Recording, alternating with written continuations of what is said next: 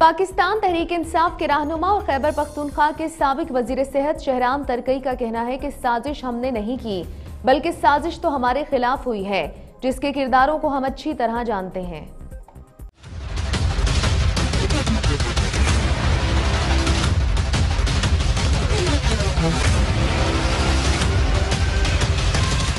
شہرام ترکی کا کہنا ہے کہ وزارت واپس لیے جانے پر دکھ ہوا کیونکہ میری کارکردگی سب کے سامنے ہے۔ پارٹی ڈسپلن کا بھی میرے خیال میں کوئی مسئلہ نہیں تھا، لیکن ہمارے موقف سنے بغیر ہی ہمارے خلاف فیصلہ کر دیا گیا۔